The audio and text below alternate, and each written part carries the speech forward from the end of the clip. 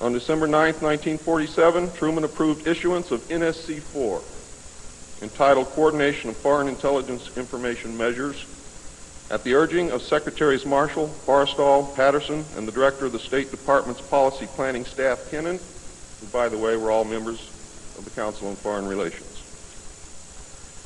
The Foreign and Military Intelligence Book 1, final report of the Select Committee to study governmental operations with respect to intelligence activities, United States Senate, 94th Congress, second session, report number 94-755, April 26, 1976, page 49 states.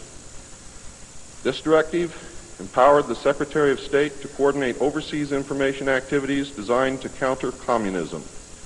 A top secret annex to NSC-4, which was NSC-4 Alpha, or 4A, for those of you who are confused by military terms, instructed the Director of Central Intelligence to undertake covert psychological activities in pursuit of the aims set forth in NSC-4 and secretly was to run a psychological operation against the American public to hide the presence of UFOs and aliens.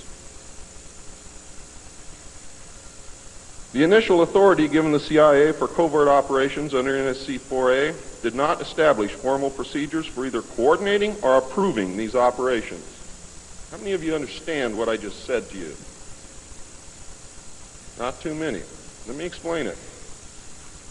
What this means, the initial authority given the CIA for covert operations under, under NSC-4 Alpha did not establish formal procedures for either coordinating or approving these operations. That means they had to answer to no one. It means go do what you got to do. Don't bring any dirt back here because we don't want to see it. Just get the job done. Don't ask anybody. Don't report to anybody.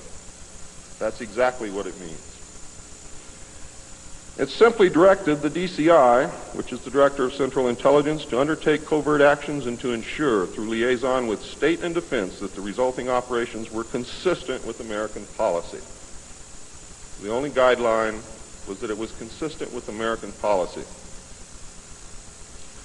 Later, NSC 10-1 and NSC 10-2 were to supersede NSC 4 and NSC 4A, and NSC 10-1 was to establish the Office of Policy Coordination, or the OPC, was chartered to carry out an expanded program of covert activities. It was directly responsible for the alien task projects, and it was the direct forerunner of MJ-12. NSC 10-1 and 10-2 validated illegal and extra-legal practices and procedures as being agreeable to the national security leadership. Reaction, of course, was very swift.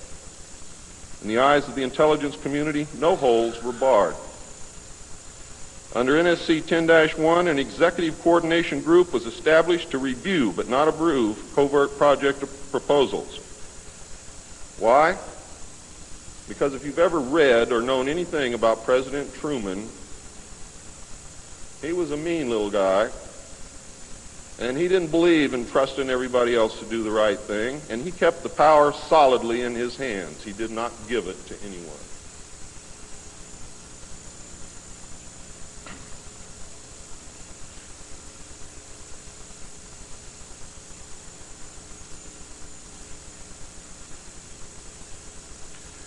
The ECG was secretly tasked to coordinate the alien projects. NSC 10-1 and 2 were interpreted to mean that no one at the top wanted to know about anything until it was over and successful.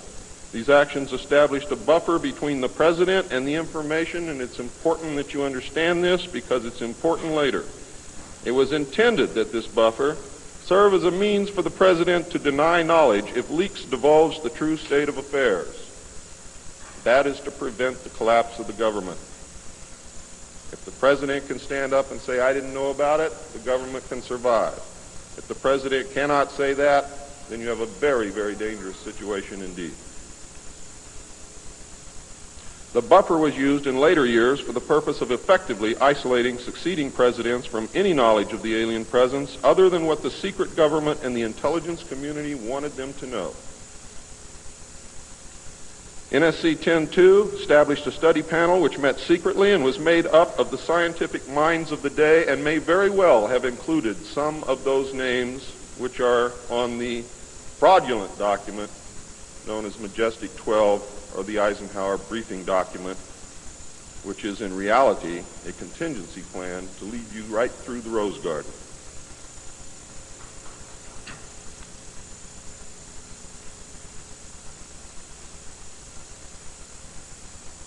The study panel was not called MJ12. In fact, the study panel was never called MJ12. Another NSC memo, NSC 10-5, further outlined the duties of the study panel. These NSC memos and secret executive orders set the stage for the creation of MJ12 only four years later. Now it gets nasty. Secretary of Defense James Forrestal began to object to the secrecy. He was a very idealistic and religious man who believed that the public should be told. When he began to talk to leaders of the opposition party and leaders of the Congress about the alien problem, he was asked, which is a polite way of saying you're fired, to resign by Truman. He expressed his fears to many people and rightfully believed that he was being watched and that his life was threatened.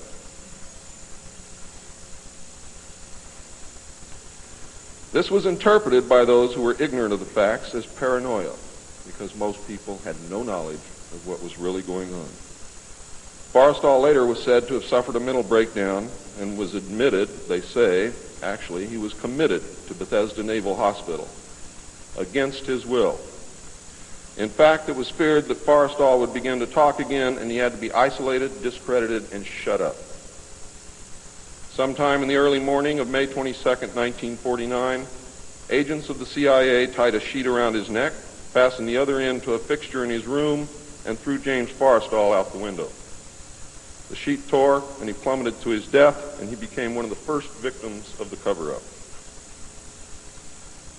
The live alien that had been taken from the 1949 Roswell crash was called EBE. was short for extraterrestrial biological entity, and all aliens are not called EBE. EBE had a tendency to lie, and for over a year would give only the desired answers to questions asked. Those questions which would have resulted in an undesirable answer went unanswered.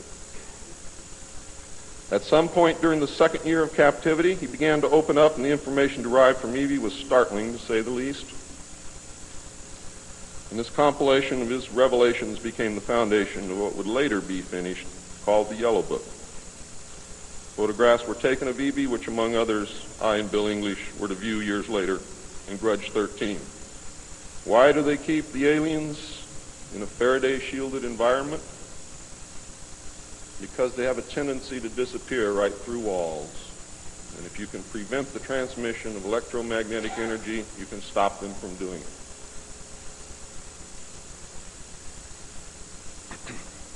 In late 1951, EBE became ill. Medical personnel had been unable to determine the cause of EBE's illness and had no background from which to draw. EBE's system was chlorophyll-based and he processed food into energy much the same as plants. Waste material was excreted almost exactly the same as plants. It was decided that an expert in botany was called for. A botanist, Dr. Guillermo Mendoza, was brought in to try and help him recover. Those of you who have been looking for him on medical lists will not find him there. He was a PhD in botany.